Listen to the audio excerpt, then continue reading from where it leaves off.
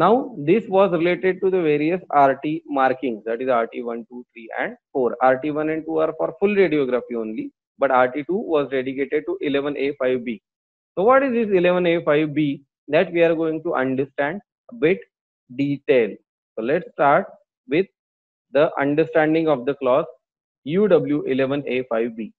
So, let's say what is been written in UW11A5B. Let's read it we have already read one more time we are going to read it as per uw 11a5b all the category b and c butt joints which are getting connected to category a butt weld should be at least satisfy the spot radiography requirement as a minimum to meet the requirements of radiography. So all category B and C butt welds which are connecting to category A butt welds in shells or the heads of the vessel or connect seamless vessels shells or the heads as a minimum should satisfy the spot radiography requirement. So 11A5B says category B and C should satisfy the spot radiography even though it is coming under full radiography requirement this clause but for category A and D full radiography uh, till the full length is been considered only for the B and C category joints only spot radiography is recommended or it is been suggested because these are not very critical joints because uh, B and C joints are the circumferential joints and we have known that the circumferential joint is having lower stress as compared to the longitudinal and hence only spot radiography is been suggested. So let's take one example. Let's say this is a pressure vessel. Uh, there are three joints in into it. One is in the we can say the L seam for the uh, vessel or for that shell then there is a circumferential joint uh, between uh, the distant two shell on the either side. So if we are not taking the spot radiography of both these joints, so what 11A5B says? 11A5B says that the spot radiography should be taken for all B category joints. Here we can see that one category B is been spot radiograph, the other is not been spot radiograph. So let's see how it goes, how it has been written in the code. So how it has been written? UW12. What has been written? Let's read it slowly. UW12A. This is one more call. UW12. This is related to the joint efficiency. So what is written in this clause related to joint efficiency?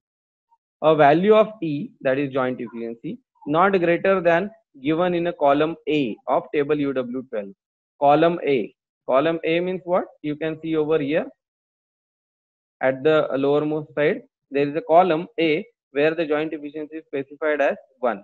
So value of E not greater than that given in column A, that is 1, shall be used in the design calculations for full radiograph uh, butt joints as per UWA, except that when the requirements of UW11A5 are not met, a value of E not greater than the given in column B should be considered. So what is written over here is if 11A5B is satisfied, then joint efficiency will be 1.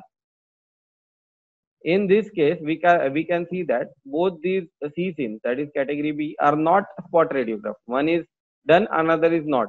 So the joint efficiency cannot be 1. The joint efficiency will be 0.85 in this here the joint efficiency. Can we get uh, the credit of full radiography of this?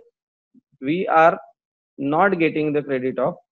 Remember l seam is fully radiograph, but the c seams or we can say category a is fully radiograph, but category b on one side is spot radiograph another side there is no radiograph. so can we take the credit of full radiography for the l seam the answer will be no no we cannot get the full credit for the spot radiography. We will take joint efficiency of 0.85 for the shell even though we are doing 100% radiography for that shell. But since the circumferential joints of the shell to dish end or shell to dish end junction is not radiograph or spot radiograph in that case we could not take 100% joint efficiency even for that cylinder. So for that cylinder the uh, joint efficiency will be 0.85. If both sides would have been spot radiograph, then the joint efficiency would have been 1. So let's understand in much better manner by taking one example. Let's say here dish end to shell junction is not having done any RT. This is also not been done any RT and the L seam is 100% radiograph. So as this L seam is 100% radiograph, but on both the side spot radiography requirement is not been satisfied. So it is not satisfying the requirement of 11A5B and hence we cannot take joint efficiency E is equal to 1 for this L seam. We have to reduce that joint efficiency to 0.85. Are you getting? So now take one more example. Here again, my L seam is 100% radiograph. And this on both side whatever C seams are there, those are also, or category B joints are there, those are also spot radiograph. So by doing spot radiography and having category A as 100% radiograph, we are satisfying the requirement of 11A5B and now we can consider the joint efficiency for the cylinder as E is equal to 1. Again for the next example 100% length is fully radiograph and C seam is spot radiograph. Again it is satisfying the requirement of 11A5B. So here we can say the joint efficiency for the cylinder will be 1. Again for the last it is 100% radiograph and the dish end to shell junction is also at least spot radiograph. Then also it is satisfying the requirement of 11A5B and here also for the cylinder we can consider the joint efficiency as 1 if we compare the first and the last what is the difference the shell to dish end junction is not radiographed on the left side so that's why we have to reduce the joint efficiency of cylinder from 1 to 0.85 even after doing 100% radiography for the cylinder so we can conclude that uh, as to have a joint efficiency of 1 of any category A joint. So for category A joint to consider joint efficiency as 1. So category B joints on either side should at least have the spot radiography done. If on either side means both the sides, either sides, either sides, it should be from both the sides. It is, it, it is wrong. It should be from the both the sides.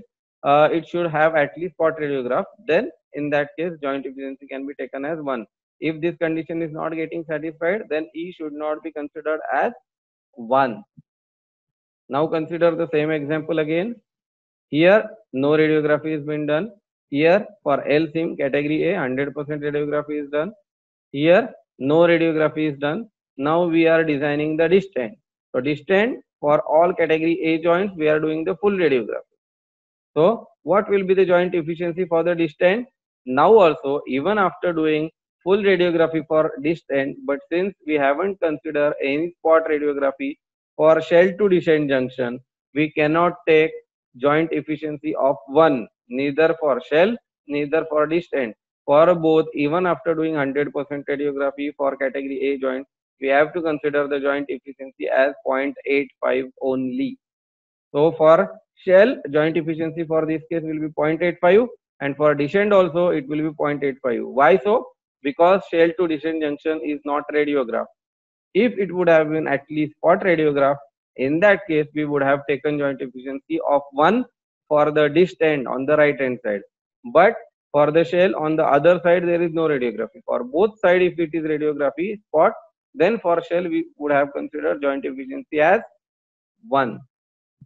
Let's take for seamless. Now if you look at the clause, that clause has changed from UW11A5B and UW11A earlier. Now it is UW12D. UW12D. So what is there in UW12D? Let's see. This is related to the seamless vessel.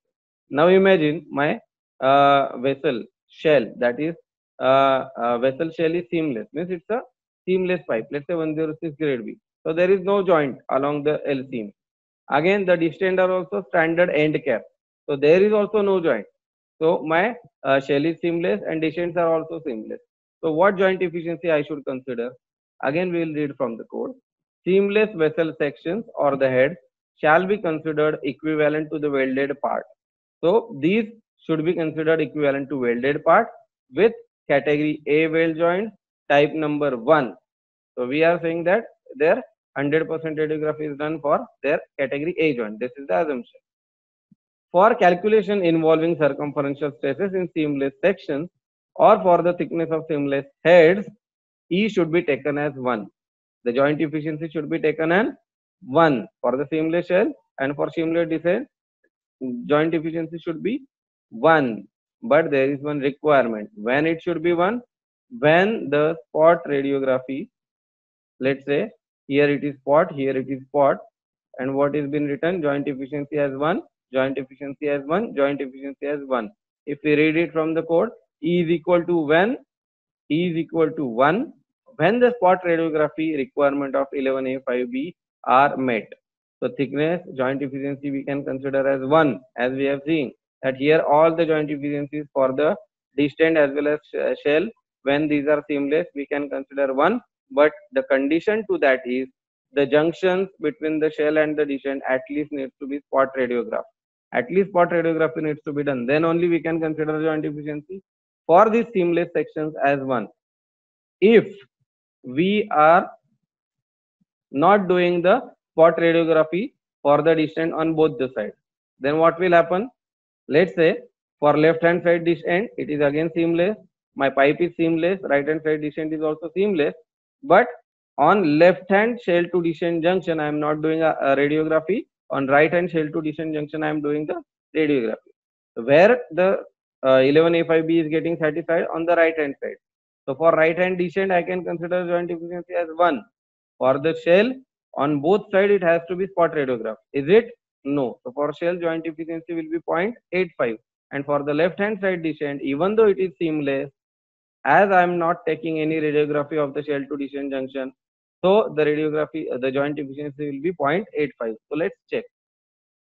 E is equal to 0.85 when the spot radiography requirement of uw11a5b are not met not met means what at least spot radiography should be done if you are not doing that means the 11A5B requirements are not met. In that case, the joint efficiency should be 0.85. So let's say for right hand side, dish end is seamless, shell is seamless, and the joint or we can say the junction between these two is spot radiograph. So we can consider joint efficiency as 1. For shell, on both sides spot radiography should be done but here it is done only on the one side. So here we cannot take joint efficiency as one even though we are using seamless pipe. That is very very important. And on the left hand side again it is a standard end cap not having any joint. But for the circumferential joint between shell and dish end we are not doing any rt or uh, spot radiography so we cannot take its advantage. And hence the joint efficiency will be uh, reduced from 1 to 0.85 so this is the end of the welding chapter, the joint efficiencies, types of welding, categories of welding, full radiography requirement, spot radiography requirement, clause of 11A, 5B, then RT1, RT2, RT3, RT4 marking. I hope you have enjoyed this lecture. Thank you.